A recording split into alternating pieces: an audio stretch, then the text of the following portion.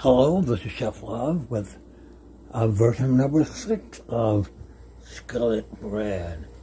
Got everything done here. I was short on sugar, so I came up with some maple syrup and uh, some applesauce. I hope that'll have to do with the sugar. My oven is set at 400. Uh, yeah. And it's going, it's all then here.